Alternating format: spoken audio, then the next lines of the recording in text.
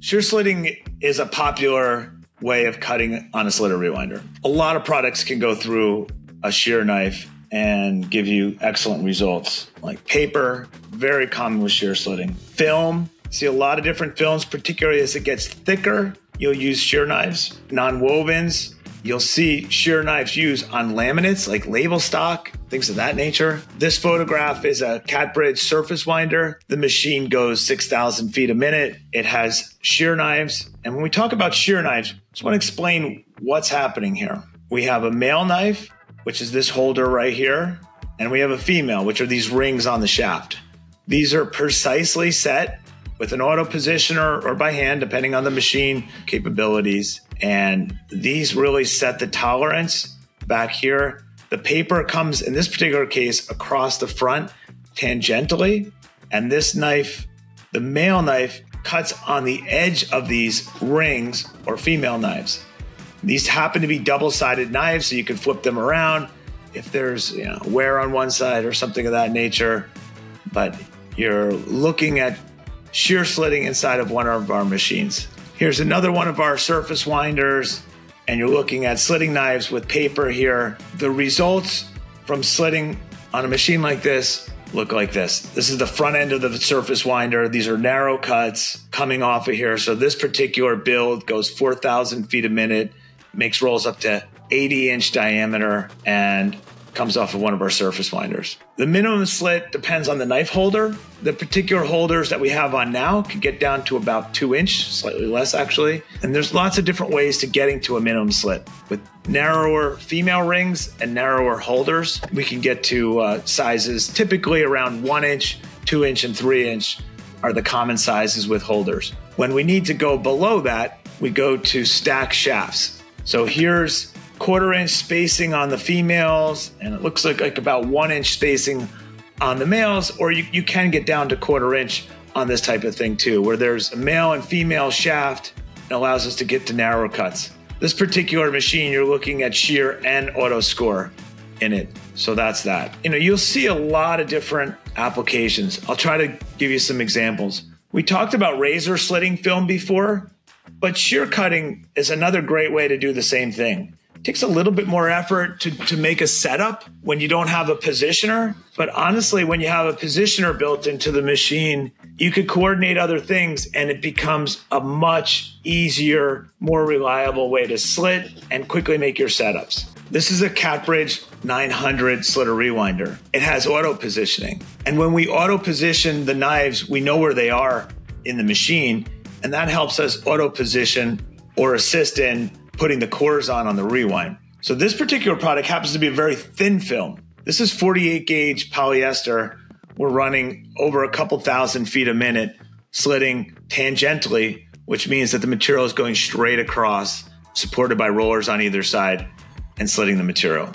So this is the winding side of the machine, and we're winding up. There's lasers up here to help this operator figure out where the cores go, and that's coordinated with the knife positioning system. We have pick in place. We have a lot of different ways to get the cores in place, but this particular one has the auto shear with the laser assist for cores. With shear slitting, there comes different knife styles, different blade angles, different blade styles. They all have a purpose. When we're slitting foils, we typically use a double hollow ground knife. Slitting plain papers, we use a, a more of a standard knife. We're slitting thick films, we use a wide rim knife. There's reason for it because when you shear cut, you've got to displace the material, and that material has to go somewhere. And depending on the type of material, it may create a raised edge. If you have a raised edge, you need to work around the knife style to get to the right result. Wide rim knives tend to just displace it and the material goes around it. So for thicker films like thermoform, things of that nature, it does a great job of pushing away when it comes to foils, you don't want to roll that edge because the foil could be soft even if it's laminated with film. And getting that double hollow ground tightly in there means the least amount of material that has to bend around that uh, male knife as it's in contact. So you're, you're looking at some thermoform material here with some wide rim holders. They're a little bit hard to see, but uh, that's really what's what's going on in this photograph. Want to talk about cleanliness and cleaning. It's not uncommon for us in certain applications to clean the material after it's slit. And this is one of the ways. This is a little vacuum. And so we have, we have brushes. Sometimes we just use the vacuum tube itself right up against the material, pulling away any debris that's coming from the slitting. Shear slitting is very clean, but sometimes materials could have brittle coatings on them and they just might want to flake at that point. And it's just a nice way to do it, have the material come through and pull anything that's possible off the surface right after slitting. These are attached to the knife, they move with the knife. So that's web cleaning. We do it other ways as well, like tacky rolls and, and web cleaners, vacuum style web cleaners that go across the entire web. Uh, a lot of times we do that before slitting and do this again after slitting. So that's, that's what you're looking at here. Now, when you're slitting adhesive products, primarily label stock, you're going to find there's a layer of adhesive between the liner and the substrate. And that adhesive can build up on the blades and it's problematic. This picture is kind of showing you adhesive rings here. What we do is we build in wicking systems. This is a very simple wicking system for label stock right here, where it's just a round wick. It squeezes around there. Customers lubricate them to keep the blade wet. Also, on our auto positioner, we have a wicking scraping system that'll go on the female side wicks and relubricate all the active knives. Of course, there's drip pans under each one of these two, so the web can pass by. But there's a, there's a small catch pan underneath just to catch anything that might come by. Um, another picture here. This is another wicking system right here where we have a lubricated felt all the way across. When the active blades are there, this will engage, and there's lubricating needles that are set to resaturate based on so many feet of material. So that's um, lubrication. This is our Catbridge 900M, and it's a base machine that we sell a lot of, just typical slitting. And one of the nicest features is the auto shear positioner and the laser uh, core pointing.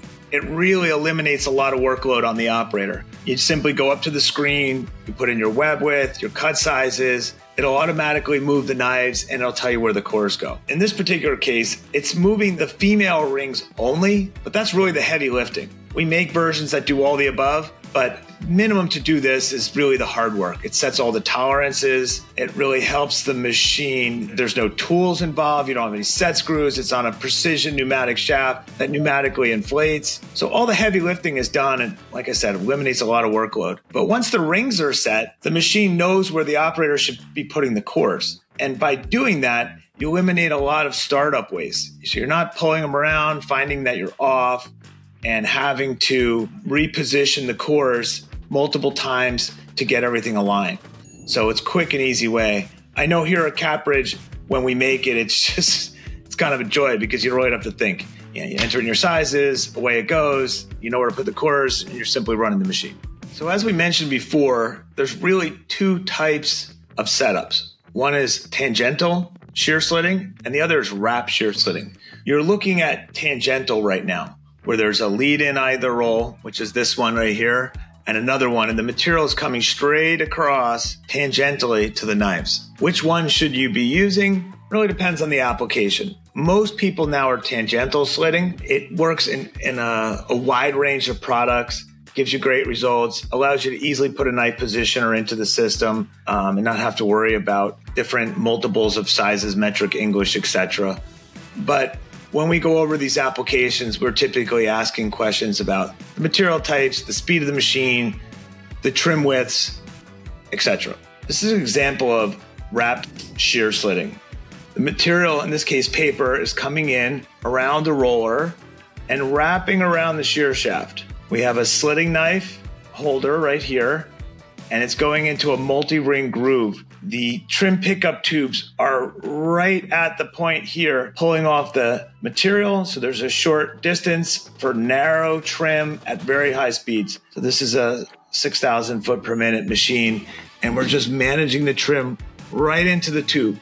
So we don't have breakage or any issues. It's just feeding it straight in. So we're wrapping it presenting it nice and flat and it can't move anywhere, taking a little trim on either side and feeding it right into these trim tubes. So that's wrap shear slitting.